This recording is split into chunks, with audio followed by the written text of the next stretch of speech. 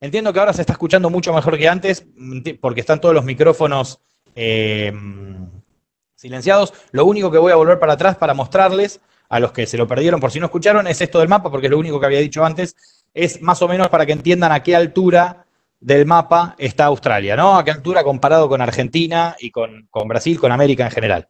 Para que vean las temperaturas, imaginen, cuando hablo de Sydney, la temperatura más o menos es la de Buenos Aires, la del Melbourne es más o menos la de Bahía Blanca, y la del norte de Australia estamos hablando ya de la costa brasilera, o sea que es un clima mucho más tropical. Bueno, ahora sí. ¿Qué manera tenemos, teníamos de llegar, por lo menos esto lo voy a hablar en pasado, porque no sé todavía cómo se va a reactivar una vez que esto vuelva. Si quieren, como comentario, les, digo que, mm, eh, hoy Australia está cerrado al turismo, que los pasajeros que pudieron, los pocos pasajeros que pudieron ir, que ya no eran por turismo, los que iban iban por algo en particular, los que pudieron ir quedaron en cuarentena 14 días en algún hotel, o sea, no es que pudo, entrar nadie, y así va a estar hasta junio. Vamos a ver si, si podemos entrar eh, después de junio y volver a armar los, viajes a Australia como toda la vida, ¿no? Pero bueno, lo más cómodo para, ir hasta, este, hasta, ese momento era, Nueva, era con Air New Zealand, con LAN, vía Santiago de Chile y con Qantas, también vía Santiago de Chile. El único que volaba directo a la zona, no directo a Australia, era Air New Zealand, que volaba a Buenos Aires, Oakland directo, pues con una conexión muy breve, porque tiene muchísimos vuelos, muchísima frecuencia, volaban a Sydney o a muchos otros lugares. Eso es lo importante de New Zealand, que vos podés volar Buenos Aires, Auckland y desde ahí conectar, por ejemplo, a Melbourne y empezar el viaje por otro lado, que no necesariamente sea Sydney, si queremos dejar Sydney para el final, por ejemplo. O alguna ciudad de la Gran Barrera. Ahí yo vi que preguntaban algo sobre la Gran Barrera. Vamos a ir hablando puntualmente de cada uno de los lugares, así que ya voy a llegar y les voy a, les voy a contar bien en detalle.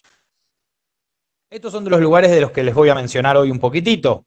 En el estado de Victoria vamos a hablar de Melbourne principalmente, de Nueva Gales del Sur vamos a hablar de Sydney y de algunos alrededores. En Queensland tenemos la parte de las playas también. Y después tenemos en el, territorio, en los territorios del norte, tenemos lo que es el desierto, el Outback, y después Darwin también al norte. En Australia del Sur, el territorio del sur, está Adelaide y Kangaroo Island. Y después Perth y algo de lo que es el Australia del Oeste, lo que se llamaría Australia del Oeste. De esto vamos a hablar un poquitito para que se vayan dando una idea. Empecemos obviamente por un orden de prioridades y de lo que más se vende, ¿no? El principal siempre es ¿Cómo? ¿Preguntaron por algún video? Sí, va a haber, va a haber un video, después les voy a mostrar un video. Eh, algunos videos, va a haber varios, al final también. Em, vamos a empezar por Sydney, entonces, como dijimos, la ciudad más importante, no la capital, que es Canberra, que queda ahí cerca. Canberra, se los digo ahora, se puede hacer como excursión full day desde Sydney. La verdad que es una ciudad bastante aburrida a nivel turístico, si quieren. Canberra no tiene la gran cosa. Eh, simplemente es la capital que la tienen descentralizada para no tener todo en Sydney. Em, es Sydney la ciudad que te paga el viaje. Si uno va a Sydney, hay, hay, gente que por ahí va a Nueva Zelanda y me dice, ¿y vale la pena si voy solo a Sydney unos días y me vuelvo? Sí. Para mí siempre vale la pena ir a Sydney. Es mi ciudad favorita del mundo. No soy objetivo eh, en ese sentido, pero la verdad es que tiene todo lo que yo por lo menos espero de una ciudad. La gente es espectacular, la ópera mismo y lo que es la zona de la bahía, que es esta foto que están viendo, es espectacular, el puente. La ciudad en sí tiene de todo para hacer, tiene noche, tiene bares, tiene movimiento y tiene unas playas espectaculares a minutos, que ahora, ahora las vamos a ver particularmente. Pero bueno, comenzamos entonces con Sydney. Para que se den una idea del mapa de Sydney, acá está la ópera, están, supongo que verán mi mouse que se mueve, es donde está la ópera, y acá el puente. Digamos que la foto que vimos antes estaría sacada de acá arriba más o menos, para que se den una idea. Y esto es lo que se llama Circular Key, que lo dice acá abajo, que es donde entran los cruceros y también desde donde salen los ferries para todos lados. Para las playas del norte, para el, el Taronga Zoo, que es el zoológico que queda ahí enfrente, y se mueven, la gente se mueve también, usa mucho los ferries acá, que es pleno centro. Fíjense que está entre la ópera y el puente. Y toda la zona de acá ya es el centro. Acá tenemos una avenida principal que es la avenida George, que es la avenida más, más comercial y más importante de Sydney. Y después tenemos los barrios de The Rocks, que es acá arriba, como las rocas, y Darling Harbor, que para que se den una idea, los que son de Buenos Aires, una especie de puerto madero, más o menos, con barcitos, restaurantes eh, y de todo para, para salir a la noche y de día también, la verdad que es un lindo lugar. Vamos a mostrarlo esto particularmente, ¿está bien? Entonces, cuando uno dice, ¿dónde me, ¿dónde me alojo en Sydney o dónde voy a alojar a mis pasajeros en Sydney? Bueno, las alternativas son varias. La mayoría de los pasajeros, sobre todo si es por primera vez que van a Australia, van a querer estar más o menos cerca de la ópera, una distancia caminando a la ópera y al puente. Con lo cual, el barrio de The Rocks sería una buena opción y toda la zona de Circular también. Por supuesto que es la zona más cara también. Entonces ahí tenemos un Shangri-La, un Intercontinental, tenemos un Four Seasons, tenemos el Park Hyatt, que es probablemente el mejor hotel de Sydney, y ha salido como hotel, no como resort ni nada en particular, pero como hotel ha salido votado algún año el mejor hotel del mundo. Así que la verdad, y se los puedo asegurar porque estuve alojado y es increíble, no se puede creer lo que es ese hotel. Así que es una gran recomendación cuando el pasajero te dice yo quiero lo mejor de lo mejor, no me importa la plata. Bueno, el Hyatt eh, de Sydney es, es el, lugar. Pero por supuesto que hay hoteles muy buenos como el Force el Intercontinental, el Shangri-La, los marco con el mouse, pero no importa. Pero les digo que están en esta zona de por acá. Pide algún 4, algo un poquitito más económico, o no necesariamente que esté tan ubicado acá en, el, The Rocks, podemos alejarnos para el área de Darling Harbour. Bueno, Darling Harbour, sobre todo pasajeros jóvenes también, pasajeros que les gusta salir a la noche, que les gusta tener restaurantes, no necesariamente jóvenes, pero digo, este espíritu joven, que quieren salir a la noche, que quieren ir a comer algo. De Darling Harbour tiene un montón de ofertas de este lado o de este lado, de cualquiera de los dos. Por ejemplo, de este lado tenemos el Hotel Star, hay también un Ibis de este lado de acá, también hay otro Ibis de este lado de acá, que ya es un tres estrellas. Y cuando no saben el pasajero que quieren, si es un pasajero que quiere estar en The Rock, si es un pasajero que quiere estar en Darling Harbour, digamos que el gol seguro, donde no van a pifiar, es si le dan un hotel sobre la avenida George porque entonces están cerca de Darling Harbour y están cerca de The Rocks. Van a estar caminando a cualquiera de estos dos lugares. Ahí como alternativas tenemos, por ejemplo, Hotel de Grace, Grace como Graciela, como, el apodo de Graciela, eh, en inglés, Grace. Eh, está muy bien, es un cuatro estrellas muy lindo. Nombro uno por nombrar, pero también hay un Radisson. Más atrás tenemos un Hyatt Regency, que es un cuatro superior. Hay, hay, hay mucha oferta por la zona. Entonces, digamos que la zona para estar alojado no saldría de acá. Si uno ya se va para este lado, ya está realmente lejos caminando de la ópera, tiene que ir con, transporte público. ¿Está bien? Más o menos con la ubicación. Vamos a, seguir.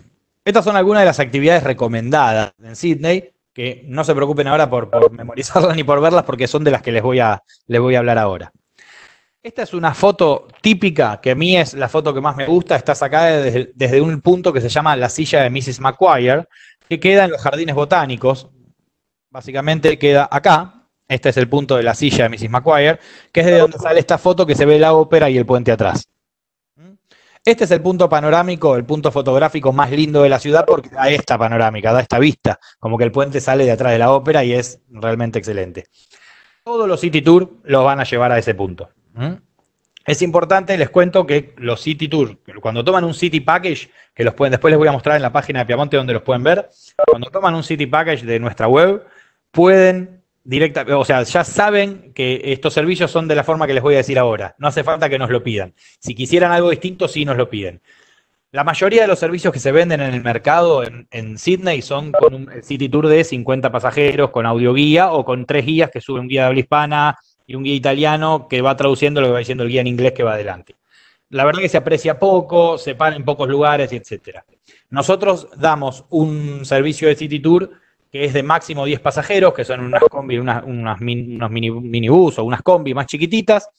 Eh, normalmente es con un iPod, eh, que se va escuchando con, por GPS, pero si hay más de seis pasajeros, que es la mayoría de los casos, se sube un guía y tienen un guía habla hispana. Máximo 10 personas. Creo que el servicio es mucho mejor y la diferencia con el otro bus es, la verdad, muy poquita en plata. Ahora, si quieren bajarle, por ejemplo, no sé, 10, 15 dólares, porque el pasajero mira hasta el último centavo, nos lo piden y tenemos el otro bus también, te lo podemos reservar. Pero bueno, lo que les quiero decir es que cuando tomen el City Package de Piamonte ya tienen la seguridad de que les van a dar ese servicio mejorado. Bueno, este punto, el punto de la silla de Mrs. McQuire, es el punto que para mí es la mejor foto de Sydney. Otro, otro punto que dicen que la mejor foto de Sydney es desde acá arriba, desde arriba del puente, que se hace una escalada que después les voy a mostrar, que no es una escalada técnicamente, es como una subida caminando, y desde ahí arriba se saca una foto. Se vende como la mejor foto de Sydney. Para mí la mejor foto de Sydney tiene que incluir el puente, y si estoy arriba del puente, el puente no sale. Entonces, insisto con que la silla de Mrs. McGuire es el lugar donde tienen que ir. Ahora bien, yo les decía que Sydney tiene playas lindas. Bueno, miren lo que son las playas que están cerca de Sydney. Esta Bondi Beach, que es la más famosa, la más conocida, también es la más turística, queda a 30 minutos de transporte público, de colectivo, que los deja por allá atrás, por allá arriba, y después bajan caminando y hacen todo con esta forma de herradura. Tienen toda esta playa enorme. Si van un fin de semana, está lleno de gente, por supuesto, y esta está siempre llena de turistas. Los City Tour normalmente incluyen una parada en Bondi Beach para sacar fotos. La otra famosa que le hace competencia, Bondi Beach es hacia el sur, la que le hace competencia es hacia el norte, que es Manly, que es esta de este lado de acá. Es un poco más larga, no tiene tanta forma de herradura. Y si ven, la ciudad está por allá atrás. A esta llegás en el ferry, que yo les decía, desde donde sale, desde Circular Key, sale el ferry que en 35 minutos, 30 minutos, para de este lado y uno cruza caminando una calle peatonal y estás en Manly Beach. Esta está llena de argentinos ahora viviendo también en, en Manly, se puso de moda. Así que hay, muchos ahí también. Em, temperatura del agua, depende de la época del año que vayas, Edu. Eh, si estás más o menos en verano, eh, la temperatura es calentita, es linda, eh, tenés unos 22, 23 grados, 27 grados puedes tener también. Y si no, si vas en invierno, no te vas a acercar al agua, vas a tener frío. Como dije, estás a la altura de Buenos Aires, pero el agua suele ser un poco más cálida porque el agua de Buenos Aires, normalmente de la costa atlántica, está muy mezclada, o sea, las playas más al norte están más mezcladas con el río de la Plata, con lo cual tienen, tienen esa mezcla de agua eh, que, la, que la enfría un poquito también y le arrastra sedimento y la hace marrón pero la, y las más claritas las tenemos más al sur, con lo cual son más frías. En este caso ellos tienen aguas muy claras y bastante calentitas. Ahí tenemos Manly, tenemos otra muy famosa que se llama Kuji, que también es parecida a Bondi Beach en cuanto a la forma, tiene una herradura también, una forma de herradura, pero es menos turística y es mi favorita, la verdad que es fantástica. Y después, un poco más alejado, ya estamos hablando de unos 200 kilómetros más o menos desde Sydney, está Jervis Bay, pero se los muestro para que vean lo que es la, la playa que hay a dos horas de Sydney, más o menos. Entonces uno piensa que se va a Australia y para ir a hacer playa únicamente tiene que volar, tomarse un avión al norte y ver la gran barrera coral. Y yo les digo que por ahí no es necesario. Y ahora desde hace un tiempito existe esto que se llama el Bondi to Kuji Walk, como les dije antes, las playas Bondi y Kuji. O sea, es una caminata, una pasarela que vas desde Bondi hasta Kuji. Son 5 kilómetros, no es necesario que hagas los 5 kilómetros, pero vas entrando a un montón de otras playas. Que esto es un tip que les doy, no, es una excursión que se venda, es un tip que les doy para que puedan decirle a sus pasajeros que lo hagan, si van por supuesto en temporada buena, ¿no? En temporadas intermedias o en verano, porque es muy pocos turistas lo terminan haciendo, o por lo menos el turista promedio no lo hace, y van, van a ver playas locales escondidas que son espectaculares. Arranca por acá donde yo les dije que los deja más o menos eh, eh, el, colectivo público. Esta es Bondi Beach, le dan la vuelta a Bondi y toda la línea roja es la pasarela. Entra primero en Tamarama, que es la primer playita de acá, después en Bronte, Clovelly y al final Cuyi. En el medio hay bahías como Gordons Bay, Nelson Bay, pero las playas son estas que les digo, Tamarama, Bronte, Clovelly y Cuyi. Cada una tiene su particularidad. No es necesario que hagan todas, pueden hacer algunas un día y vuelven. Yo hice todas, la verdad que no es un gran problema y no soy un gran amante del trekking, ¿eh? no es que es algo tan complicado ni, ni, ni, que necesitas un estado físico increíble. Pero bueno, por ejemplo, Bronte, lo bueno que tiene es que, por ejemplo, te encontrás una playa con esta cantidad de gente. Cuando venís de Bondi Beach, que queda más o menos a, no sé, a 8 cuadras, 10 cuadras. Entonces terminás en una playa mucho más tranquila y local. Clovelly, que es la, anteúltima antes de Bondi Beach, tiene esta particularidad de estas esplanadas de cemento. Todas tienen estas, se llaman las mermaid pools, como las piscinas de las sirenas, que se llenan con el agua del mar, son públicas, todo esto es público. Y tiene acá como unas escaleritas, ¿ven? Estos agujeritos, estos rectángulos son escaleras que bajan, porque acá en el medio hay todo un arrecife de coral. Entonces, la gente se lleva sus patas de rana, sus aletas, su antiparra, y bajan por acá y te vas haciendo snorkel hasta la arena, si querés. A ver si se puede ver, yo les voy a poner ahora un video cortito para que se den una idea de este, el Bondi Tukushi Walk. A ver si se ve el video. No sé si llegan a ver ahí.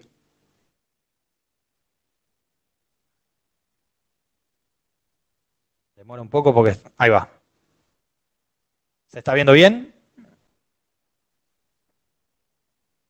Bien. Es muy cortito, pero para que se den una idea mejor que con las fotos, lo van a ver así.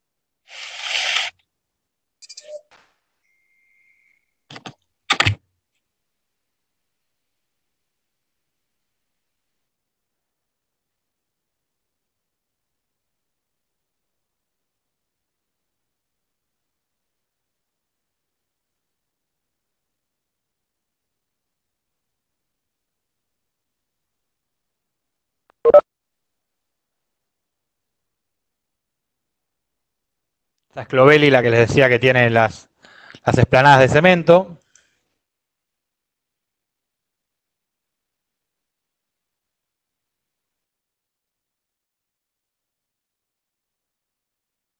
Esta es Gordon's Bay, una de las bahías que hay, pero no, no, es, no es para hacer playa. Y va llegando hasta Kuji, que es la que les digo que es mi favorita, que es fantástica.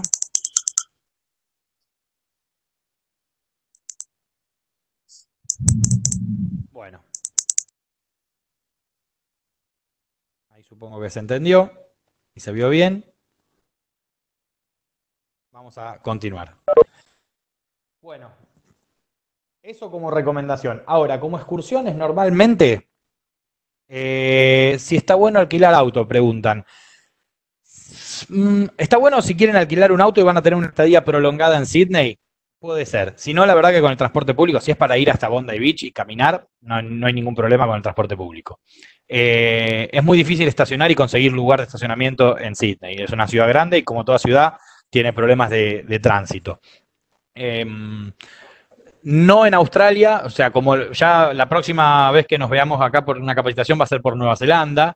Eh, y Nueva Zelanda por ahí sí es un lugar que sí recomiendo alquilar auto por distancias, pero Australia la verdad que las, distancias son demasiado grandes, con lo cual solamente la van a usar un poquito por las afueras de Sydney. Quizás si fueran a Adelaida, después les muestro, por ahí tiene sentido, o si fueran a Melbourne, por ahí tiene sentido para ir a recorrer las zonas de los viñedos que quedan las afueras. Después, el resto de Australia no sé si vale tanto la pena alquilar un coche, a menos que tengan estadías prolongadas. Yo estoy hablando ahora del viaje típico turístico de tres noches Melbourne, tres noches Gran Barrera y cuatro noches Sydney, por ejemplo en, ese tiempo, la verdad que no vale tanto la pena alquilarse un auto. Y empezando también porque se maneja del otro lado, hay que, hay que acostumbrarse a que se maneja del otro lado. Si lo pueden hacer por en Australia, se acostumbran enseguida, digo, en Nueva Zelanda se acostumbran enseguida. En Nueva Zelanda es más fácil porque también hay menos tránsito, porque hay menos gente. Pero bueno, ya vamos a hablar de Nueva Zelanda más adelante. Ahora sigamos con Sydney. Las excursiones, la excursión, como les dije, típica es un city tour de mediodía que se hace por la mañana normalmente después se almuerza y por la tarde eh, generalmente se incluye, nosotros solemos incluirlo, un barquito por la bahía. Hay diferentes barquitos por la bahía, 7 mil millones de barquitos por la bahía, de opciones distintas. Las opciones que nosotros solemos dar son, por ejemplo, el Majestic Cruise, que es un, crucero más o menos grande, digo más o menos grande porque hay algunos son realmente grandes, y después otros como Sea Sydney Cruises, que es otra compañía, que son cruceros para no más de 15 personas. ¿Qué, garantizamos con esto? Que el servicio sea más o menos del mismo estilo del City Tour que le dimos a la mañana. Porque yo lo saco del City Tour de 10 personas a la mañana y lo subo a un barco de, no sé, 200 personas con un almuerzo buffet interno, la verdad que pierde un poco la gracia de lo que veníamos haciendo.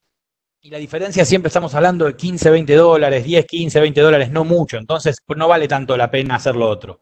Lo otro que también cuidamos mucho es de separar, a menos que nos lo pidan, al turista argentino del turismo asiático en general, porque las culturas son muy distintas y a veces hay choque por esto, las costumbres cada una son distintas, eh, son, eh, suele, suele pasar que hay problemas normalmente en el buffet. Cuando están haciendo la fila para el buffet, no es lo mismo para un argentino que para un asiático eh, la, la, espera de la comida en el buffet o servirse la comida en el buffet y aparte hacer una cola de 50 personas, 100 personas para servirse un poco de arroz o servirse una comida en el buffet mientras afuera está pasando la ópera y el puente, pierde un poco la gracia del, crucero por la bahía panorámico, ¿no? Porque se pierden de verlo.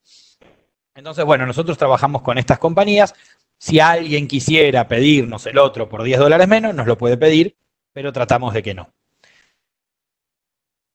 Esta es la otra excursión que ya esto, esto es opcional, no, se, no se incluye nunca en un paquetito, pero tienen la opción de hacerlo, que es la, le llaman la escalada al puente, yo les digo entre, entre comillas. Ahí Daniel me pregunta si Sydney es una ciudad eh, cómoda o amigable para caminar. Es lo que más recomiendo en Sydney.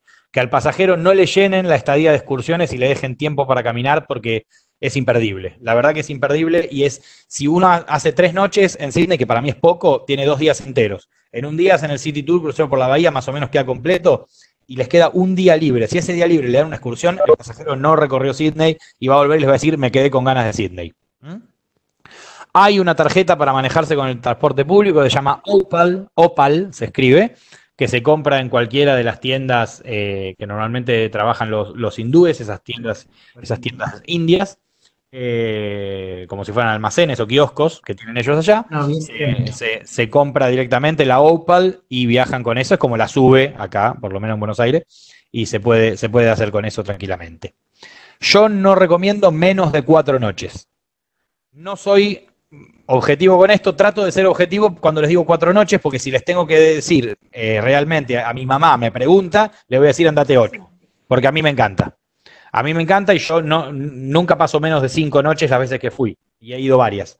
Eh, me he quedado diez noches en Sydney, eh, me he quedado muchas veces y me quedo, todo el tiempo que puedo. Eh, vale la pena. más adelante hablo un poquito sobre la fauna marina, así que lo, va, le voy a contestar a quien preguntó recién en el chat. Vamos con esto que es lo de la escalada del puente. La escalada del puente es una excursión que más o menos lleva unas tres horas, de las cuales la escalada son más o menos 45 minutos, el, tiempo, el resto es tiempo de preparación. A mi gusto, espero, esto, esto va a quedar grabado, espero que no me vea la gente que vende el puente, pero digo, eh, me parece que es, si tienen una estadía corta, van a perder una tarde, o el pasajero va a decir, estuve una tarde, podía haber caminado por Sydney, eh, que me estuvieran explicando cómo subo caminando por la escalera hasta arriba para sacar una foto. Eso es lo que va a sentir el pasajero. Ahora, en una estadía prolongada, no está mal, se puede hacer como, algo más para, conocer Sydney desde ese punto panorámico. Si seguimos, vamos a les voy a mostrar un poquito el barrio de The Rocks. ¿De qué se trata esto que les decía de The Rocks para estar bien ubicado? Mantiene las fachadas antiguas, pero es un barrio bastante moderno en cuanto a movimiento. También es un barrio bastante caro. O sea, el café que van a pagar en el centro o en Darling Harbour, no sé, 6 dólares o 5 dólares, acá lo van a pagar 11. Eh, es el lugar más caro también para ir, pero es muy, la verdad es muy pintoresco. Y como les decía, los hoteles más caros y los de mejor categoría están en esa zona de The Rocks. Y Darling Harbour, esta zona con movimiento, normal, o sea, mucho movimiento nocturno, pero también de día, tiene también una alternativa hotelera inmensa. ¿Qué se puede hacer? Esto, además de decirles que se alojen, también se los digo para cuando el pasajero le diga, yo quiero caminar Sydney. Bueno, ¿por dónde? Por The Rocks y por Darling Harbour, por ejemplo, es una buena opción y toda la zona de la Avenida George también. Además de lo que decíamos, de hacer la caminata que va desde Bondi hasta Cushing, pero eso si fueron en buena época del año para eso. Después, si van en invierno, The Rocks y Darling Harbour son zonas, entre otras, dos de las zonas que no se pueden perder para salir a pasear. Excursiones que se pueden hacer hacia las afueras de Sydney. La más famosa es las Blue Mountains. Acá pasa lo mismo, ¿no? Es una excursión panorámica, linda, es bien sightseeing, de que va subido al bus, te bajás y cómo reflejan la luz en la resina de unos árboles, que creo que son los eucaliptos, eh, se, ve, se ve de este color azul. Es panorámica, es para los amantes de la, fotografía y de los paisajes, pero de vuelta, es una excursión que se hace día completo y si le dieron una, una estadía corta o una estadía de tres noches, tenés mediodía de a la mañana, mediodía de, de barquito, me trago porque voy leyendo mientras me van preguntando y no tengo que hacer eso. Em, y medio día del barquito por la tarde, y después le diste un día entero en las Blue Mountains y no le dejaste tiempo para que recorra Sydney. Entonces, estadía prolongada, Blue Mountains está bien. me preguntaban por la fauna, me preguntaban por fauna marina, pero les voy a contar de las dos, cómo ver las dos. En general yo no soy amante de los zoológicos y suelo no incluir en ninguno de los... Hay tres o cuatro noches para Sydney, ¿va bien? Sí, le vas a poder ver lo que estoy hablando, pero yo digo no menos de cuatro, no menos de cuatro. Tres noches es muy justo.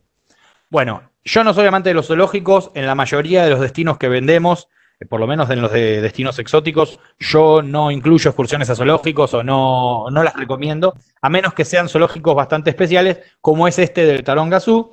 Em, que es este es un lugar más parecido a un Temaiken, si quieren hacer una comparación con Argentina, que a un zoológico normal. O sea, son, siguen estando en cautiverio los animales, pero tienen todo un plan de, eh, ¿cómo se llama?, de rehabilitación para los que están mal, los tienen y después los devuelven a, su hábitat natural.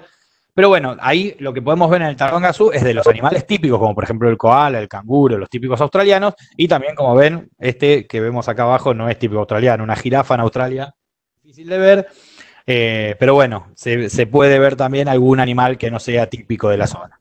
Lo que tiene de particular también es que se cruza desde Sydney con un ferry a, la parte del zoológico y cuando se entra ya se incluye la entrada y cuando se entra se puede subir con el teleférico que ven acá en la foto del medio y desde el teleférico van viendo todos los animales abajo y cuando llegan arriba se bajan y empiezan a bajar caminando y van entrando en los diferentes, van viendo los diferentes animales que quieran ver. Otra alternativa es el Sydney Aquarium, a donde van a ver la fauna marina que me preguntaban antes. ¿Mm? Acá van a ver la fauna marina típica. Esto está muy cerquita. Sacan la entrada ahí mismo en Darling Harbour.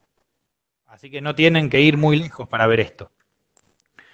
Y ahora al lado de, este, del Sydney Aquarium, pusieron también el, ahora digo, ya pasó hace unos años, ¿no? Pero está el Madame Tussauds, para el quien, quien le interese el Museo de Cera, y también está el Wildlife Park, se llama. Es un wildlife, que es un, es un lugar de vida salvaje, que ahí tienen también eh, koalas, que normalmente es muy fácil ver ahí un koala despierto, cosa que es muy raro, eh, porque el koala de 24 horas duerme 22.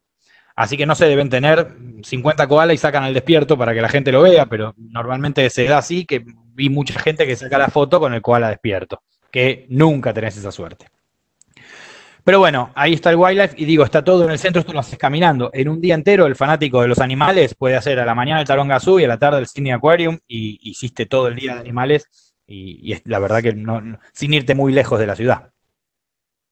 Para verlos en su hábitat natural va a haber otros lugares. En el camino a las Blue Mountains, en las montañas azules, ahí tenés un parque que se llama el Featherdale, donde pueden parar y ver algunos canguros, wallabies. Ahí pueden ver algunos otros animales también.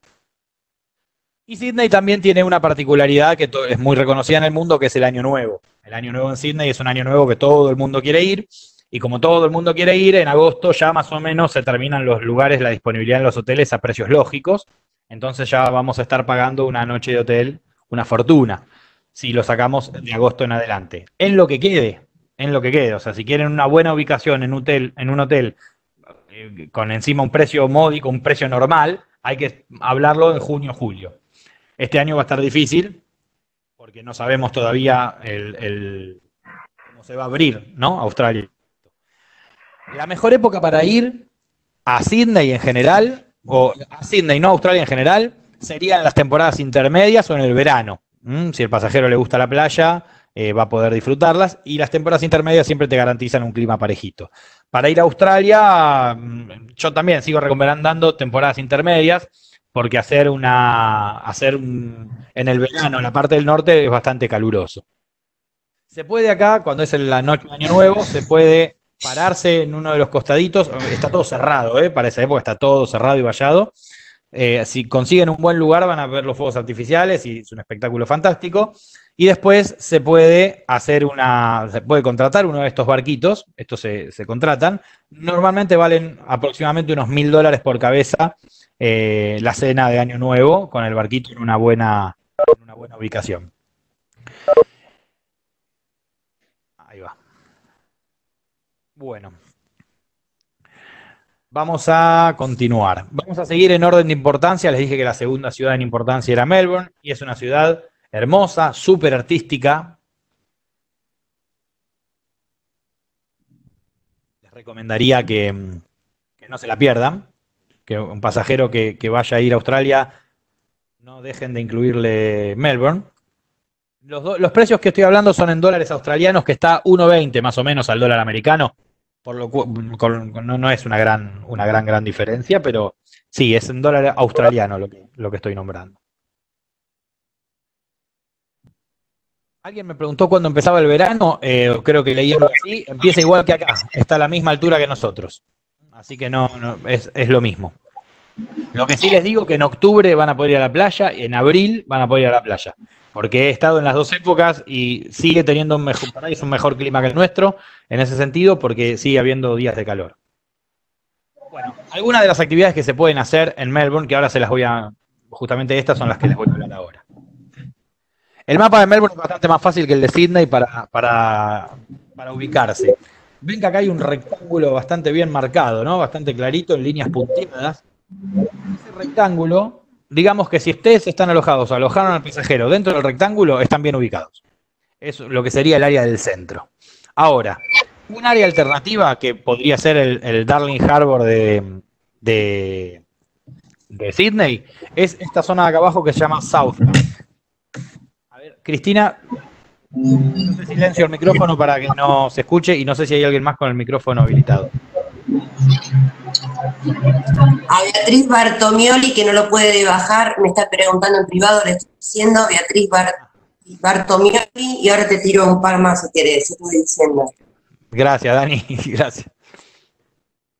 Ahí está. Bueno, el que pueda lo va, lo va bajando.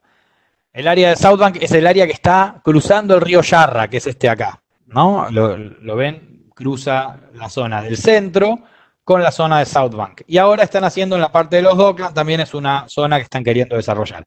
Pero en principio les digo, lo que es esta zona, esta esquina, este cruce del puente y esta avenida de acá, básicamente es la mejor ubicación que le pueden dar a un pasajero.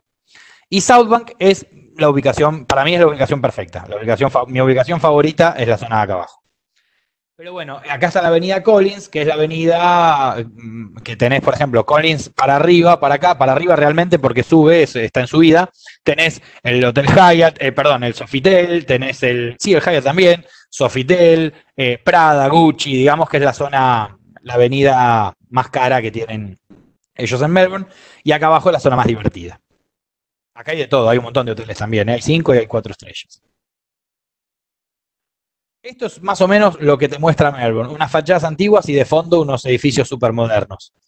Y es una ciudad muy artística porque existen estos lugares que se llaman lanes, lane, se escribe, que son básicamente callejones, en los que uno se, puede hacer unos city a pie, se puede contratar, el city a pie en español también lo trabajamos. Trabajamos con el, con el, con un operador en, en, Melbourne que es el dueño es argentino, interpreta muy bien las cosas que le pedimos y al gusto del pasajero nuestro, así que Ahí podemos trabajar confiados con él. Estos lanes son obras de arte de, grafiteros. ¿Quién, eh, ¿Qué es lo que no ven? Hay algo que me están diciendo que no ven. No sé si ven, no ven la pantalla.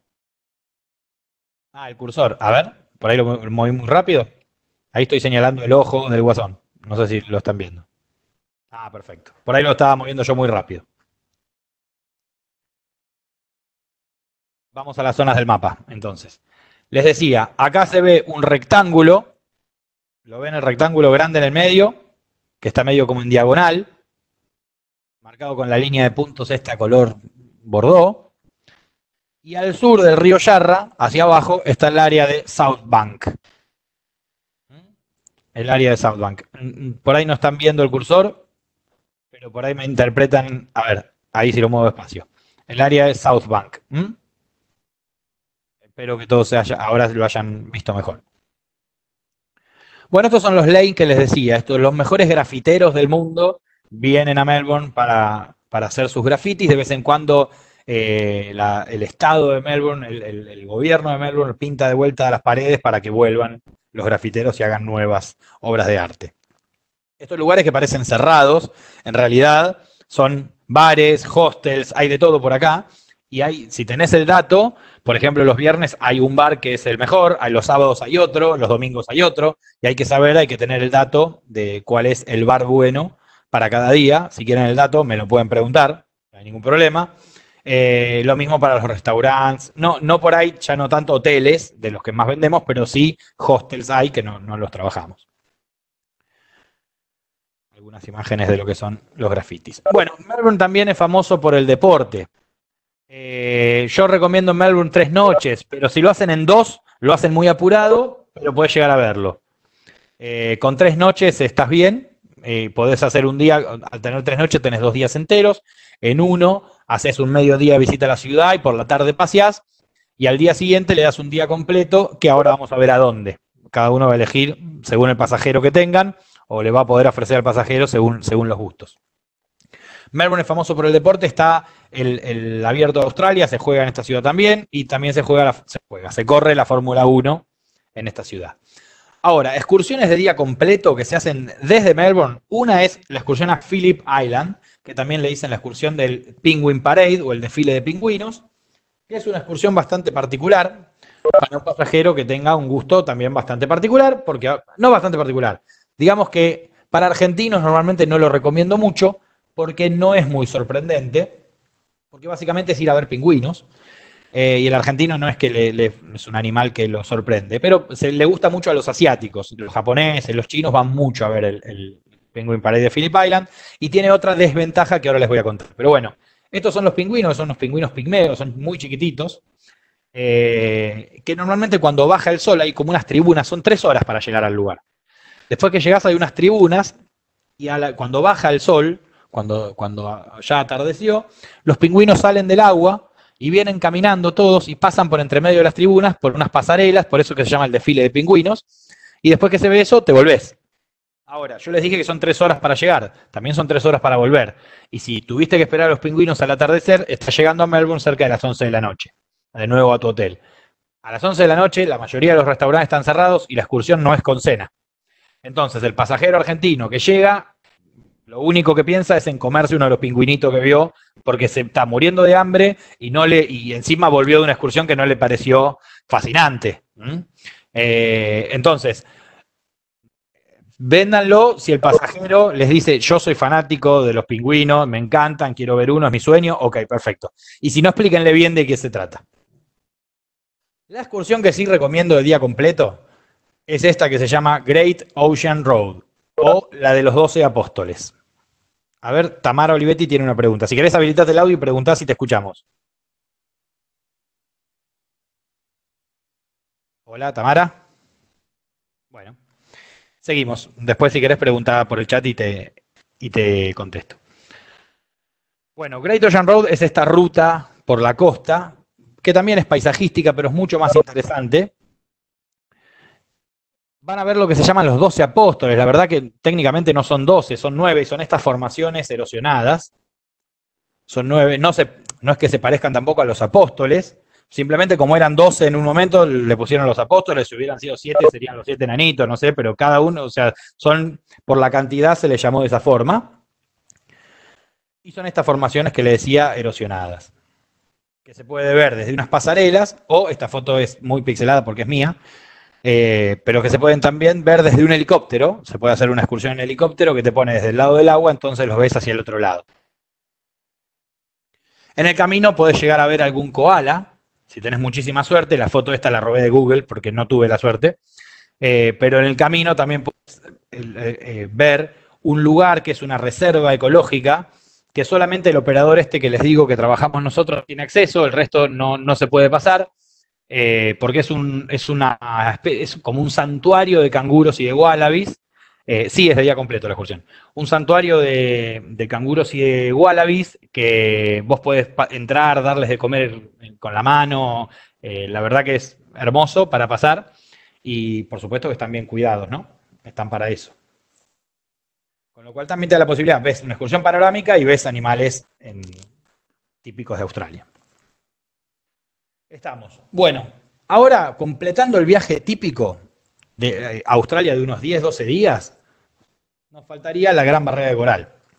Viaje típico, digo turista promedio, ¿eh? no alguien que les pidió algo específico. Sydney, Melbourne y Gran Barrera de Coral. Digo Gran Barrera de Coral y no nombro una ciudad porque hay muchas opciones para alojarte en la Gran Barrera de Coral.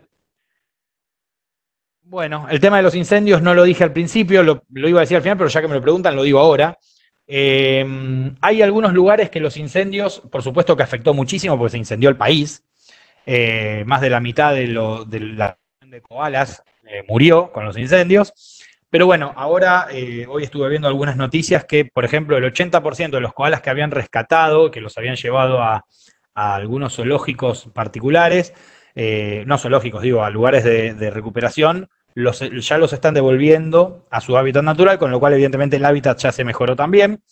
Eh, uno de los lugares más afectados fue Kangaroo Island, que después les voy a mostrar un poco, no cómo quedó, sino cómo era antes, pero también sé que de a poquito lo están rehabilitando eh, y vienen muy bien y avanzando mucho.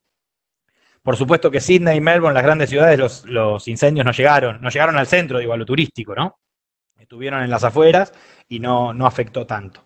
Y por supuesto que las playas tampoco. Digamos que hoy los incendios, un turista que va a hacer lo típico, no va a ver nada que tenga que ver con los incendios.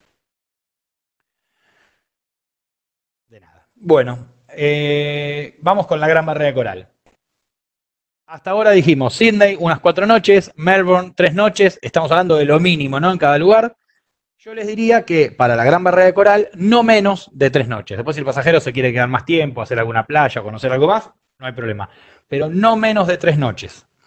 Porque la excursión, básicamente, la excursión de la, de la Gran Barrera de Coral es de día completo. Es una excursión full day que se hace típica excursión, ¿no? Barco con fondo de vidrio para ver los corales, al igual que en otros lugares del mundo. Pero es una excursión, como les digo, de día completo y si hay mal clima, que no es normal, pero si hubiera, se suspende, por supuesto. Si ustedes le dieron dos noches, un día completo solo, justo hubo mal clima ese día y el pasajero se fue, voló cuatro horas hasta Cairns o hasta la zona de la Gran Barrera para no ver la Gran Barrera y van a tener un problema. Entonces, si le dan tres noches, yo les diría que se suspenda dos días seguidos, es muy raro. Así que más, más, ya casi se aseguran que el pasajero lo va a ver. Normalmente es una zona que tiene muy buen clima, así que no, no, sería normal que pase eso. la, Gran Barrera de coral es la estructura viviente más grande del mundo, es enorme, eh, es inmenso. Fíjense que en esta foto casi que no entra entera, no, no entra entera, de hecho. Por eso yo no les puedo decir. Sí, decime, Dani. Em, viste que hay un tema con la playa, con el tema de las. Ay, no me, se me, me fue la mente. ¿Cómo se llaman? Las, las Sí, sí. Sí, sí, ahora. Eso, eso ahora si, lo, si querés te lo explico mejor cuando lleguemos a la foto por Douglas, que es donde tiene el mayor problema. Ahora te lo, ahora lo, ahora te lo muestro. Ok. Bueno, Cairns es la ciudad, normalmente es la, principal, como ciudad no se imaginan ni, ni Melbourne ni Sydney porque es un pueblo chiquitito, pero es la que tiene el aeropuerto principal. Entonces van a volar, normalmente van a volar hasta Cairns, que CNS es el código, y se pueden alojar en Cairns o se pueden alojar en otros lugares. Eso es lo que les voy a mostrar ahora porque todo el mundo después le da el alojamiento en Cairns y resulta que Cairns es una ciudad que no tiene playa. Entonces, si fueron a la Gran Barrera de Coral, porque vieron que en el mapa figura acá en la costa, y dicen, ah, bueno, si está en la costa y tiene mar, tiene playa. Y no, tiene una zona de una marina, pero no tiene técnicamente una playa de arena. Entonces, pueden alojar a los pasajeros en alguna playa cercana y darle la misma excursión a la Gran Barrera que le daban desde Cairns. No hay ningún problema.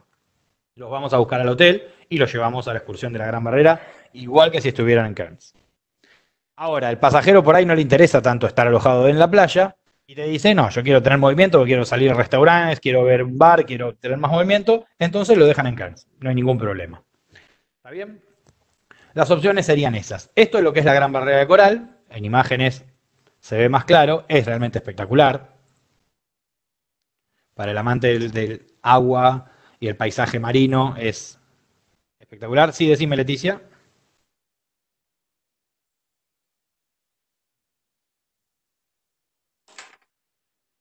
Si te alejas en otra playa, no te llegue a leer.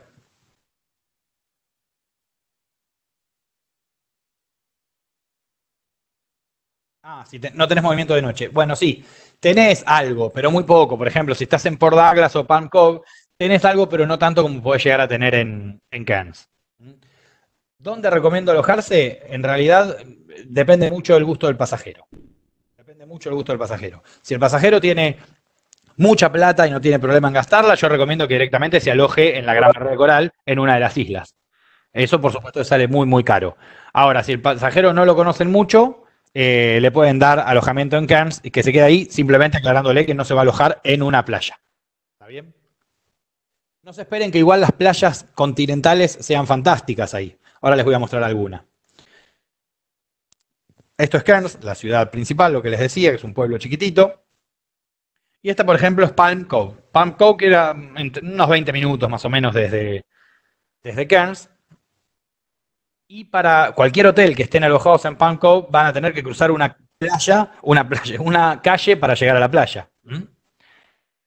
No, a Brisbane todavía no llegué, voy a llegar más al final y no, Brisbane no toca la gran barrera. Después, después les muestro Brisbane. Eh, la, arena, o sea, esto no es la playa paradisíaca que esperaban ver, pero bueno, por lo menos tienen arena, tienen agua. Mm, se alojan en, un lugar que tiene arena y tiene agua. No hay resort con salida caminando a la arena, eso no pasa. En, en Palm Cove en general no pasa y en ninguna de estas zonas tampoco. Lo que sí pasa es si te alojas en una de las islas, como dije antes, que ahora les voy a mostrar un poquito. Esta es por Douglas, que antes, como preguntaba Dani, eh, ven que hay poca gente en el agua, casi nadie, porque acá sí es donde tenés problemas, porque el problema no es solamente la medusa. Acá hay, la gente más que nada le tiene miedo a los tiburones, ¿no? Pero el tiburón es el que menos peligro hay acá porque no hay tantos y hay, la verdad que hay muy pocos ataques registrados de tiburones. Si lo comparamos con la cantidad de muertos que hay por medusa, porque hay muchas medusas venenosas, algunas que te morís de un infarto directamente por el veneno que tienen y otras porque por ahí te paralizan una parte del cuerpo y te ahogás. Entonces es bastante peligroso. Pero además por Douglas, que si bien es una especie medio de punta del este, si quieren, en los precios también, eh, acá también tenés cocodrilo de mar, o sea, que son unos cocodrilos enormes. A veces es normal verlos, por ahí pasa la ola y está el cocodrilo, se ve la sombra del cocodrilo dentro de la ola. Ningún australiano en sus cabales se mete al agua en Port Douglas, con lo cual al turista se le recomienda que no se meta tampoco. ¿Mm? Eso es, es, es, para suicidas, básicamente. Si no te mata un cocodrilo, te mata una medusa, y si zafaste de los dos, por ahí te encontrás algún tiburón. Eh, yo diría que mejor quedarse en la arena tomando sol, y si no, eh, ir a Port Douglas, e ir a Pankow o quedarte en Cairns eh, y disfrutar de los restaurantes, restaurantes de la zona. No, no, no pasa en todas las playas de la zona, pero sí en, muchas, y una es por Douglas, que es muy famosa para alojarse, por eso se los comento, porque mucha gente recomienda por Douglas porque la foto está hermosa y es muy tentadora. Eh, el pasajero cuando llega resulta que le dicen al agua no te vas a poder meter, y cuando vuelve ustedes tienen un problema. Me recomendaste una playa que no pude tirarme al agua. O bueno, va a su riesgo, se quiere meter al agua. Ponen unas, unas redes, pero que por los, por los los cuadrados de las redes, la medusa pasa, las medusas chiquititas, hay una medusa que tiene un nombre japonés que no me lo acuerdo, que pasa por ahí y te mata, o te paraliza y te terminás muriendo ahogado.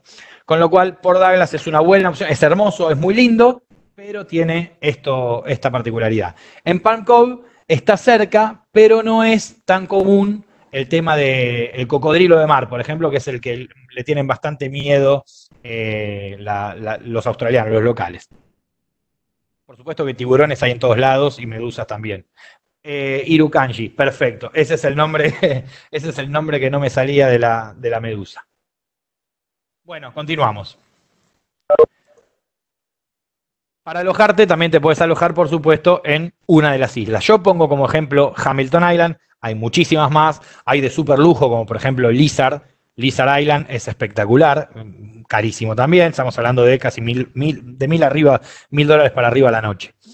Eh, pero Hamilton lo que tiene de bueno es que te da, primero que tiene una pista de aterrizaje, que tiene un, no, no, le llamaría ni aeropuerto, ¿no? Pero tiene una pista de aterrizaje que se puede volar con vuelos regulares eh, saliendo desde Cairns y de varios lugares más y que adentro tenés varios tipos de alojamiento. Tenés un 3 estrellas superior, un 4, un 5 y el Qualia, que es como un 6, que es espectacular, es un resort espectacular. Pero te da la posibilidad de alojarte en muchas. Y también hacer alguna, de, alguna excursión. No, Hamilton está acá. Esto es la gran barrera de coral, Hamilton está acá. Está más al sur de Cairns, correcto. Pero no, pero no es que esté afuera de la gran barrera de coral. Y ahora y van a ver que desde ahí pueden hacer visitas, por ejemplo, a Hayman Island o a la Sunday. Que ven lo que es esto. Se ve, esto es Whitehaven Beach.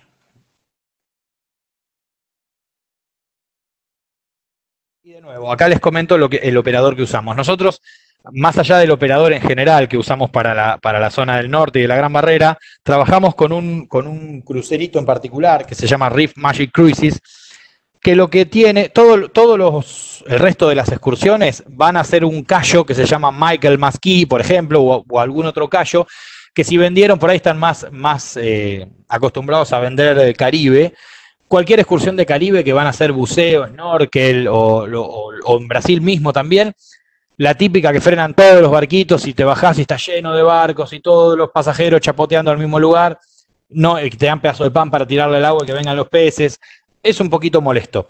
Esto vale prácticamente lo mismo, no hay una, no hay una diferencia de precio grande, y la excursión lo lleva a este lugar que ellos le llaman el pontón, que es como una plataforma que tiene hasta un buffet para poder comer algo ahí y que podés y que podés hacer todo, desde el pontón, haces toda la parte de snorkel, buceo y todas las actividades subacuáticas que quieras hacer desde ahí mismo. ¿Mm? Esto, por ejemplo. ¿Está bien? Bueno, no hace falta que nos pidan Reef Magic Cruises, nosotros trabajamos con ellos. O sea, directamente cuando ustedes compran el City Package de Cairns en la, zona de la Gran Barrera, con Piamonte, saben que están comprando este, este, barquito también.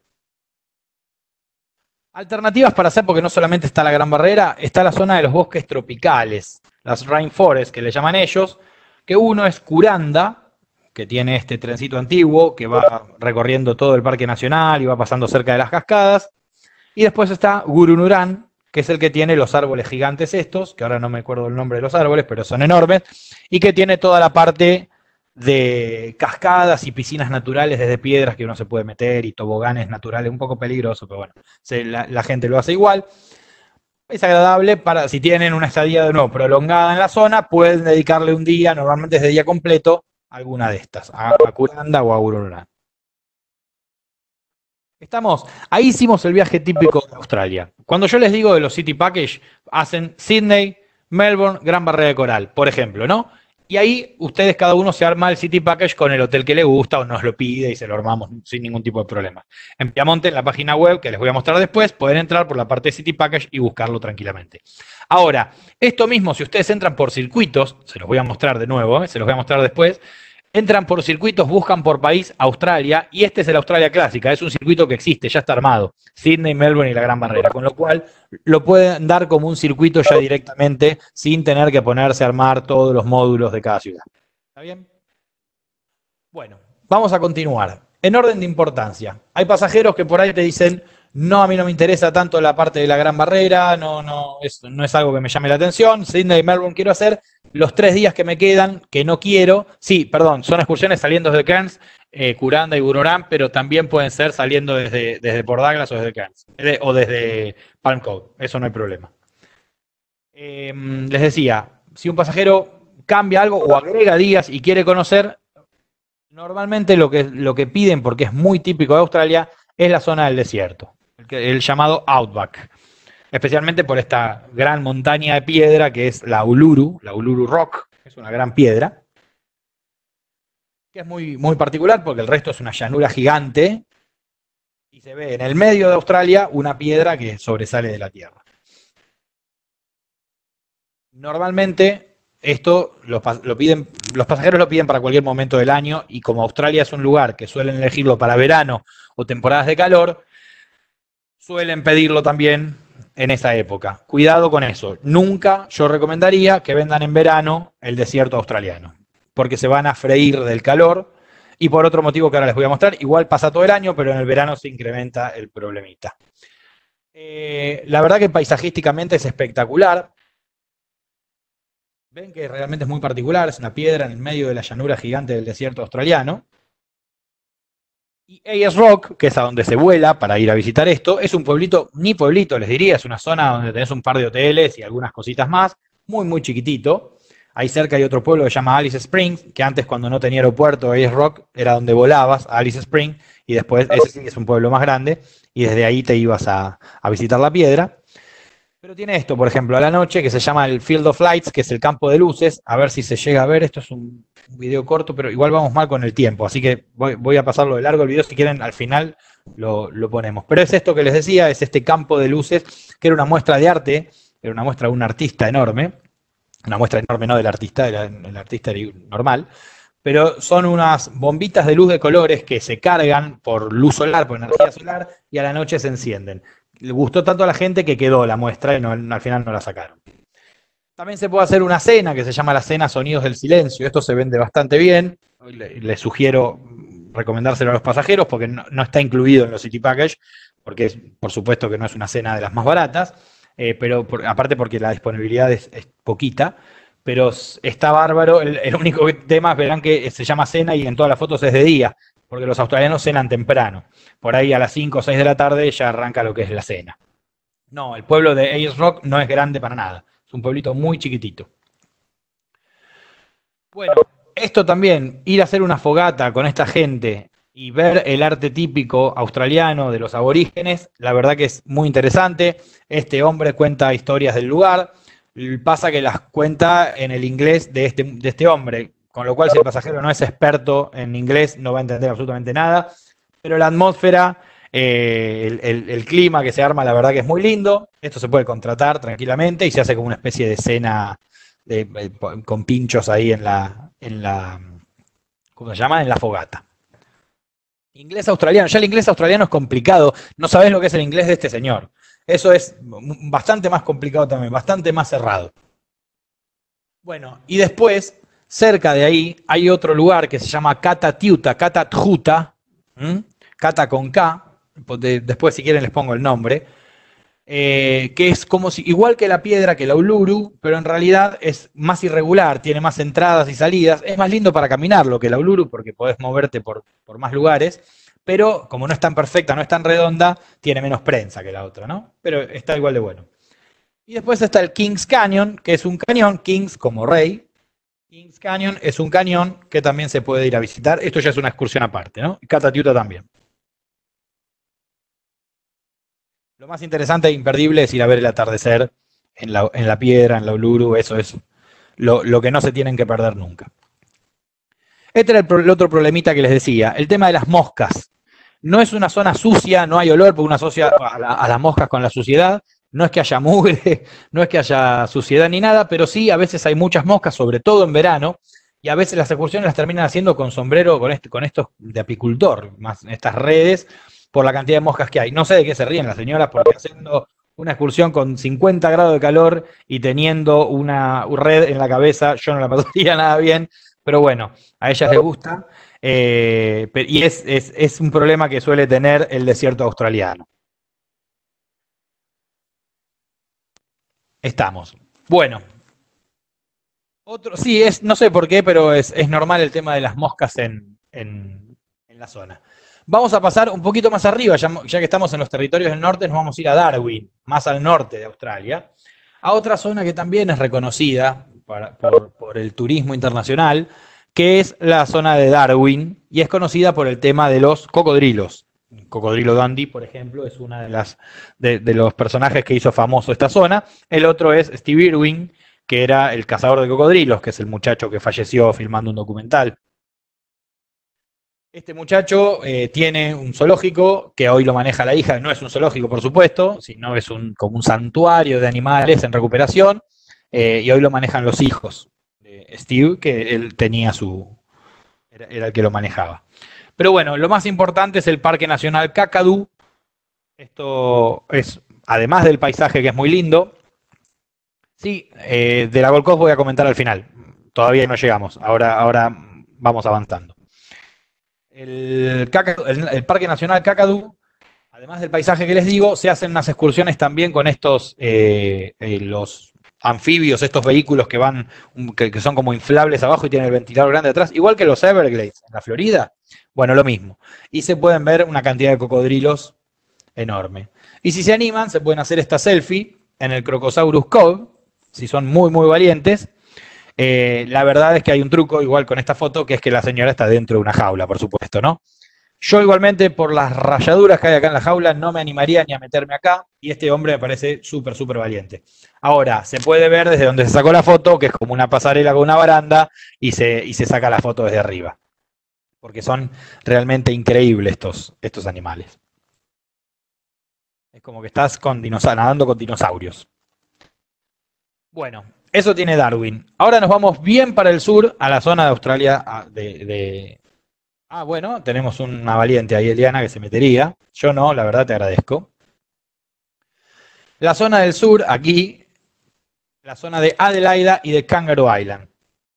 Kangaroo Island, nombre dice de qué se trata, no, no hace falta que explique mucho, pero por supuesto es colonias de canguros, buenos paisajes y después la zona de viñedos de Adelaida, eso es lo otro.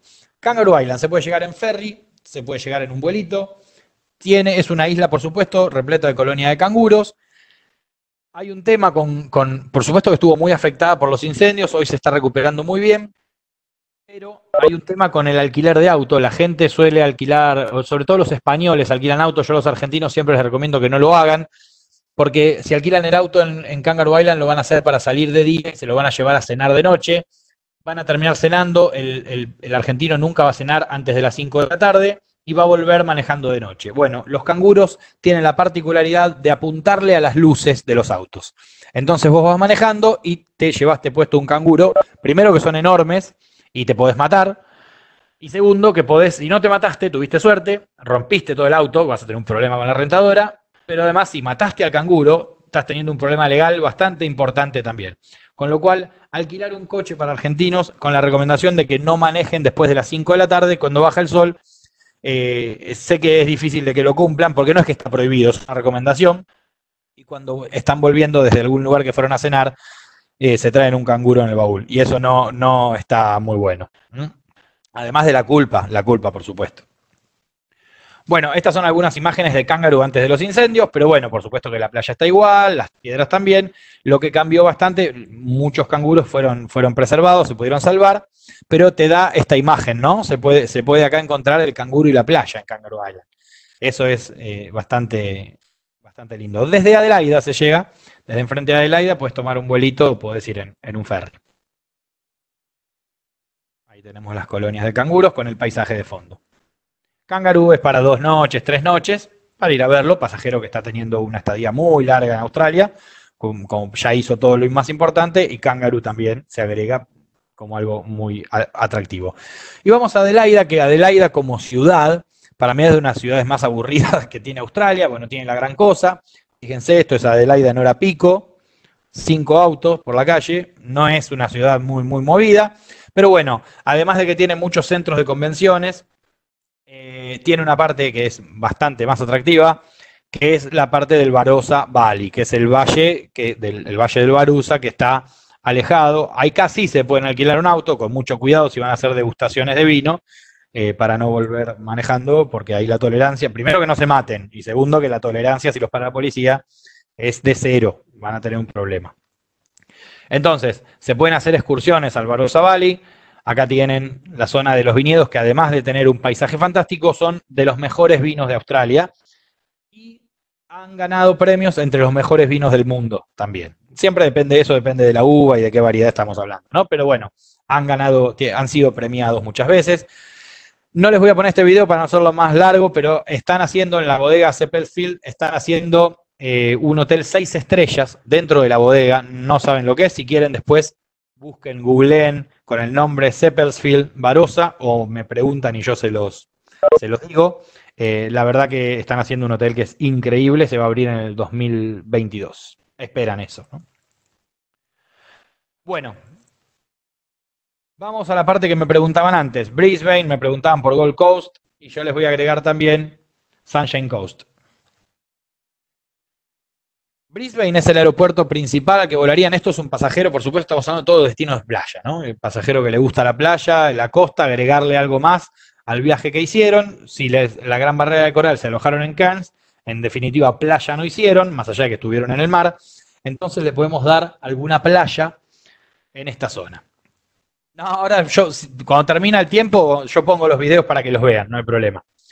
Em, lo que pasa es que no quiero estirar más la, charla para que no nos pasemos del tiempo que estaba establecido.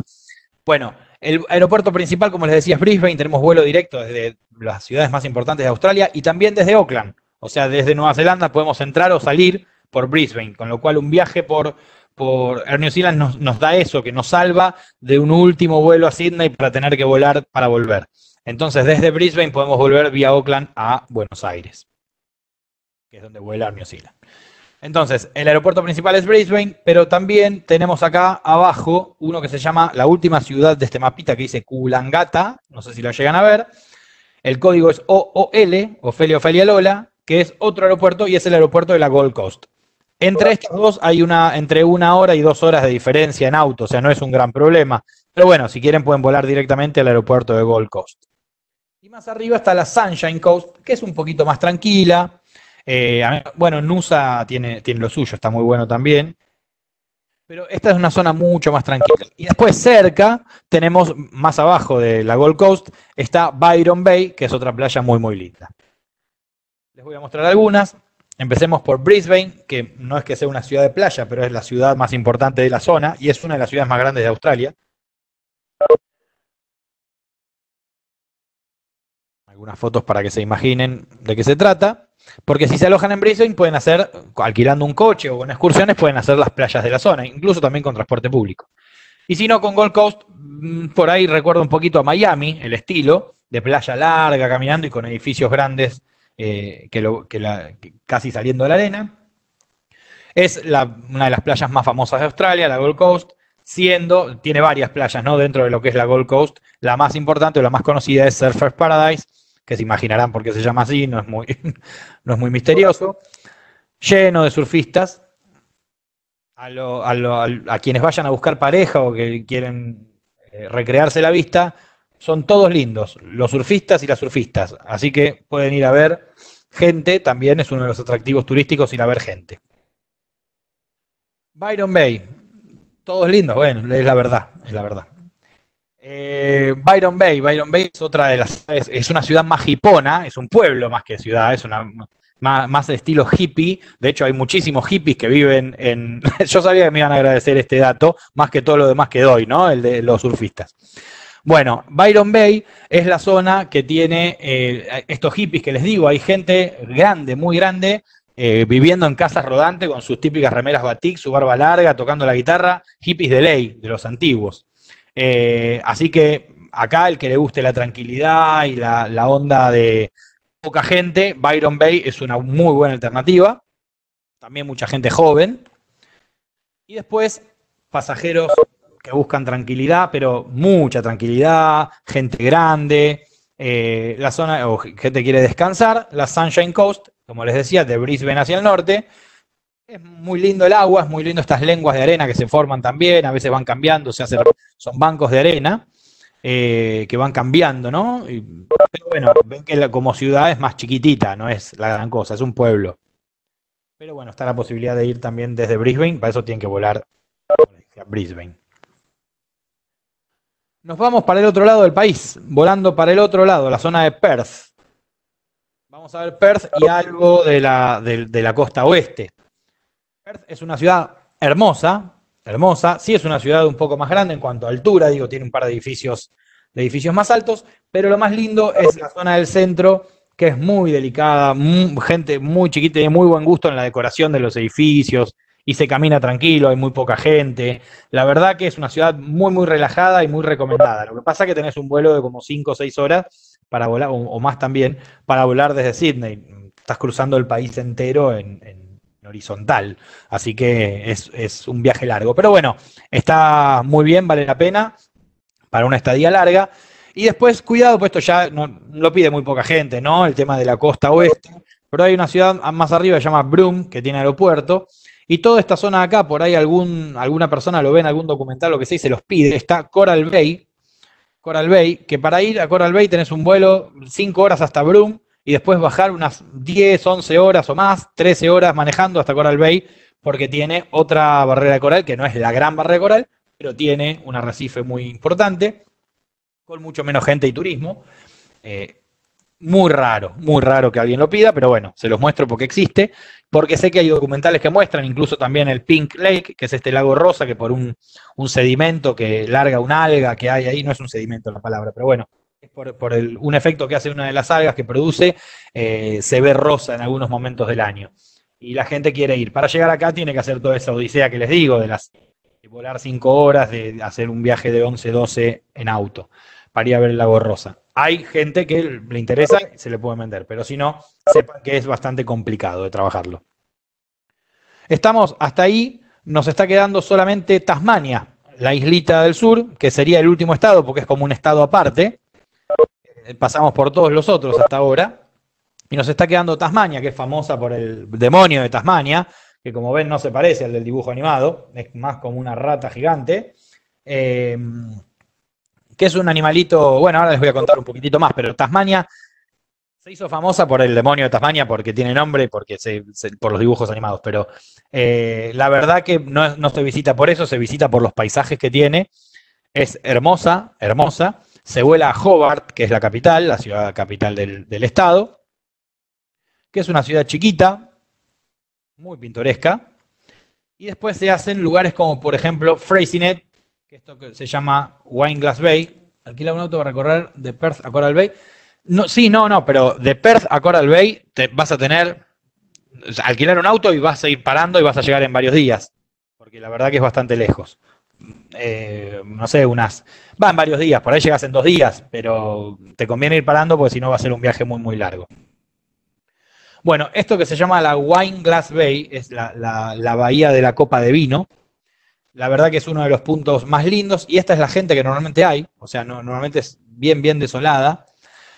Tengan en cuenta que estamos hablando de la ciudad más al sur, más o menos a la altura de Puerto Madryn, con lo cual la playa está un poco fresca. Claro, vecinos, ahí nos contaba el abogado, muchos se están retratando, algunos vecinos. pensé que me estaban haciendo una pregunta. Como, yo, del resto. yo no fui, yo no fui. Eso de cagón también. ¿eh? Sí, porque les vienen denuncias. Ah, desactiven el micrófono, por favor. Ahí está. Continuamos. Bueno, Cradle Mountain, yo les muestro el mapita de vuelta para, mostrarles el viaje típico. Normalmente de Hobart salimos hacia Port Arthur, subimos a Freycinet, que es donde le mostré la copa de vino, pasando por Launceston, que es otra ciudad que queda en el medio, que es un puerto marítimo por el que se llega también desde Melbourne, al sur, eh, al, norte de la isla, digo, al sur de Australia. Eh, Launceston y Cradle Mountain, que es más paisajístico en el medio de la isla. Esto es lo que se suele hacer en un recorrido normal como les dije, Freycinet, y esto es la Cradle Mountain, que es lo que queda en el medio de la isla. Mucha área protegida, mucha vegetación, la verdad que es una isla muy linda, muy poca gente. Se visita muy tranquilo, se puede alquilar coche acá para recorrerla o se puede hacer excursión. Nosotros tenemos también armadito un city package para que lo puedan para que lo puedan hacer en tres noches, que es lo que se sugiere. El demonio de Tasmania, la verdad que es muy difícil de ver. Eh, no es uno de los, de los animales más fáciles de encontrar. Tuvo un problema bastante fuerte de, casi en peligro de extinción porque le, agarró una especie de cáncer facial. Estoy siendo muy bruto con lo que lo estoy diciendo, pero para que se entienda bien, eh, tenía una especie de cáncer facial y como el animal es el marsupial carnívoro más grande que hay y es bastante agresivo y se ataca mucho entre ellos y se muerden en la cara. Y ese cáncer que tenían se transmitía es un cáncer contagioso. Entonces, entre mismo ellos se fueron transmitiendo el cáncer y casi se eliminó el 80% de la población, entre ellos se mataron, el 80% de la población porque ese cáncer iba tomando, el tumor iba tomando la cara y no le dejaba comer y se terminaba muriendo de hambre. Entonces ahora, en este lugar donde se los puede ver, se llama un, se lo estoy diciendo como se escribe, un zoo, todo junto, an su, que quiere decir eh, el no zoológico, básicamente sería la traducción, porque es un lugar completamente, los animales están libres por todos lados, y como este es agresivo, por supuesto, se le puede ver en estas burbujas que uno sale desde abajo de la tierra, ¿no? Pero el resto de los animales se ven libres, están por, el lugar abierto, no es un zoológico. ¿Qué cosa es verdad? Si se, pueden ver, sí, esto es verdad. Esto es cierto. Bueno, sí, digo burbujas no son burbujas, es como un vidrio que está en el piso y uno sale por abajo y lo ve. Eh, entiendo que hay varios zoológicos, hay varios lugares, parece que fueran burbujas, ¿no? Que son como pelotas. ¿Está bien? Eso es lo que se ve, cápsulas, ahí está, me gusta más la palabra. Eso es lo que se ve en esa zona. Ahora, yo nos quedamos un ratito con preguntas, les voy a poner un video para que más o menos se vea todo este resumen y les voy a dejar unos links, si quieren, para que puedan, ahora vamos a ver un video que con la voz de Crims Hemsworth, que lo conocerán porque es el actor de, eh, el que hace de Thor, en, todos lo conocerán, es uno de los lindos surfistas que tiene Australia. Eh, es la voz de él, lamentablemente no aparece, así que quien lo quería ver, lo lamento, pero sí se ve toda Australia de fondo. Y después yo les voy a dejar unos links de la Oficina de Turismo Australia, oficial, primero para que si quieren se pueden hacer especialistas de Australia con certificado online, y después pueden también eh, entrar y ver cuáles son las últimas informaciones por el tema del coronavirus y, y, algunas cositas más, algunos tours virtuales a museos que se pueden hacer, pueden ver de todo. Los pongo el videito y después los dejo con los links. Gracias por los comentarios a todos los que están diciendo, los estoy leyendo. Después, después, les muestro también los que se queden, si se quedan, cómo buscar nuestros circuitos y nuestro City Package en la, en la web de Piamonte.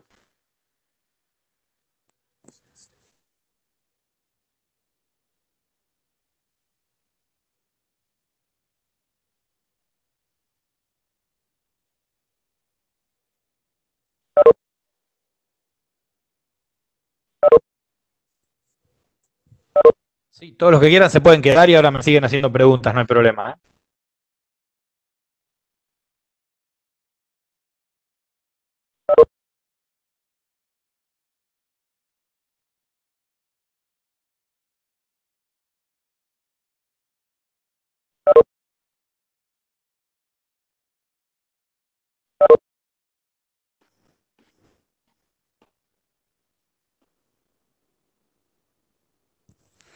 Ahora les hablo del visado cuando termina el video.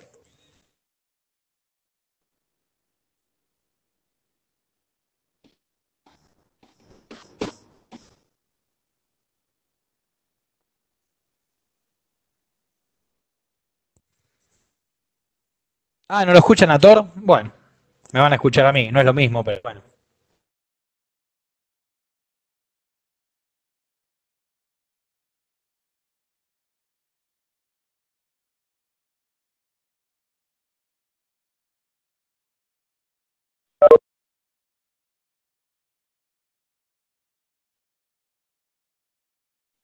Ahora cuando termina el video me pueden hacer las preguntas que quieran, no hay problema. Nos quedamos un ratito hablando.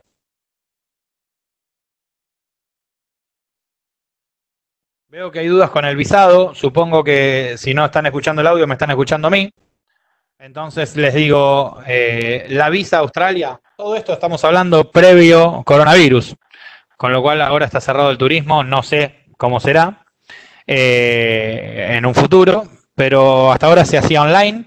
Normalmente 40 días antes es lo que les, les, sugiero, no menos que eso, que lo hagan, o un mes. Eh, y con eso, bueno, se aseguran que, que, llegan a tiempo. Se hace online, se hace online, se paga, son los más o menos 100, 150 dólares. Y nada, son varios pasos los que van pidiendo, pero es bastante sencillo. No, no conozco casos que ya hayan rechazado. Eh, pero bueno, háganlo con tiempo, lo único. Ahí está terminando el video. Yo sí estoy escuchando a Thor y ustedes no. Así que envídenme.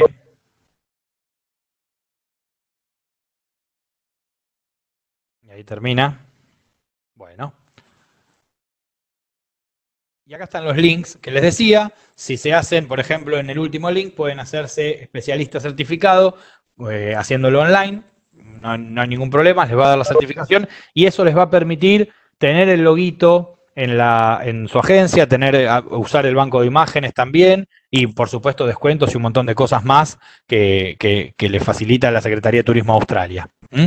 Eh, en el primer, link, yo ahora si quiere, el que quiere me lo pide, me mandan un mail a leandrot.piamonte.com y yo se los copio y se los pego y se los mando este link, no hay ningún problema. A ver, si no se los pego en el chat en este mismo momento, va a ser más fácil. Y, el que quiere lo agarra de ahí y pueden entrar. En el primer link van a ver la parte de lo que les digo, pueden entrar a hacer tours virtuales por los museos, etcétera. Después en el segundo tienen toda la información del coronavirus y de toda la parte turística. Y en el último es para hacerse OSI Specialist, que es el certificado especialista en turismo Australia. Eh, con eso terminaríamos. Yo ahora, las preguntas, algunos me están haciendo, pero pasan muy rápido, porque me pregunta uno y pregunta el otro y, queda, y se pasa de largo y no llego a leerlas. me quedo un ratito y les voy contestando a todos los que necesiten la- las consultas. A ver, voy a abrir el chat y ahí me van preguntando.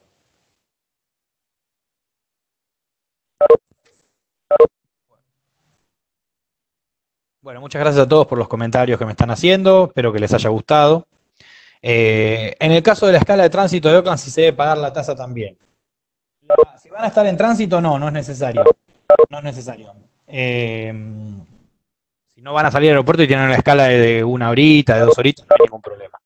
Lo otro es para ingresar porque es una tasa de turismo que se paga. Eh, además de la ETA esa que se hace. Ahí está, ahí les copio los links. Denme un segundito. Les voy a copiar los links y se los pego en el chat.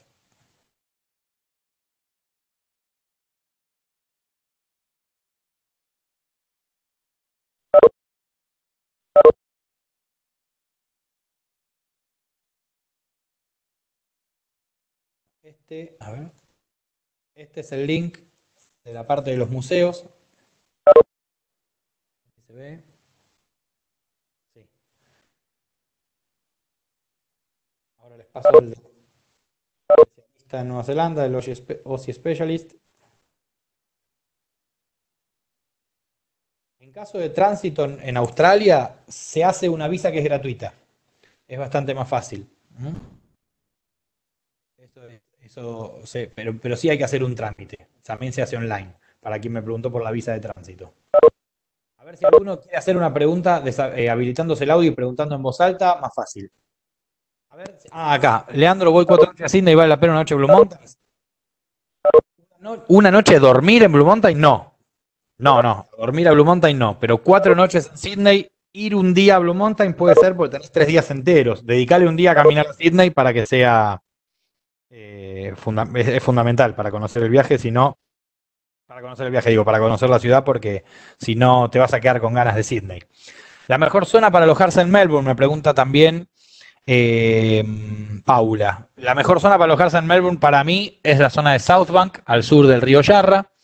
Eh, pero por supuesto que si los alojas dentro de lo que es el rectángulo del centro, también estás muy bien ubicado, especialmente sobre la avenida Collins. Eso también estás muy bien ubicado. A ver quién más. Grupo Australia 2021. Bueno, eh, fuera de chiste, para 2021 en realidad teníamos armado en, en Tasmania, ¿cuántas noches aproximadamente? Tres noches. Tres noches mínimo. Em, lo que les decía es que teníamos preparado un montón de productos y, por, supuesto que eran para ahora y no lo sacamos ahora porque no tiene mucho sentido, pero teníamos armado un montón de circuitos especiales con aéreos, circuitos aeroterrestres que los vamos a lanzar en cuanto se pueda eh, vender de vuelta, con un montón de combinaciones distintas con Australia, con Australia y Nueva Zelanda, con Australia y Pacífico. eh, cuando digo Pacífico me refiero, por ejemplo, a las Islas Cook o a Fiji. Va a haber eh, muchísimo, así que se puede, ahí, ahí van a tener un montón de opciones con aéreo, por ejemplo, para poder vender también a Australia. Me falta un solo link, pasar, que es el del medio. Nosotros ya se los pasé.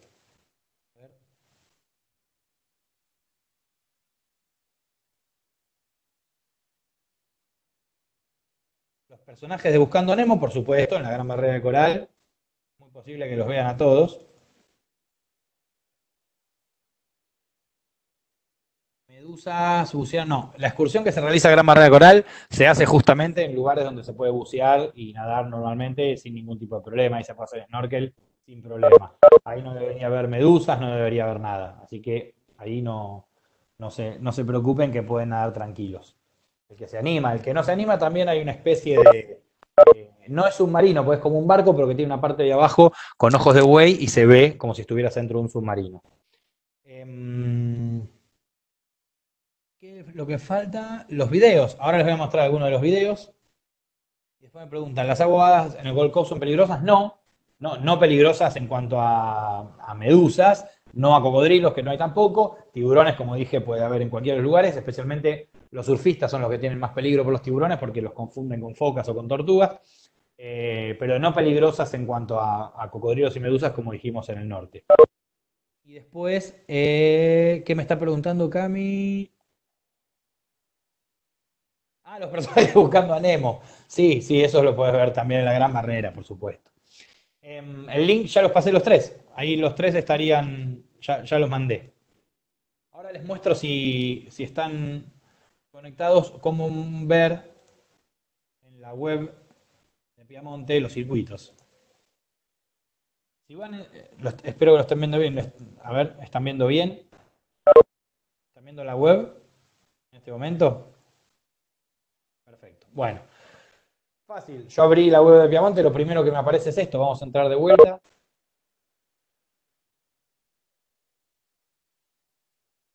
Estoy con la Wi-Fi un poquito lenta, pero bueno, seguramente a ver bien. Ahí está. Pongo buscar por país. Australia. Pongo, por ejemplo, no sé, septiembre. Y voy a buscar.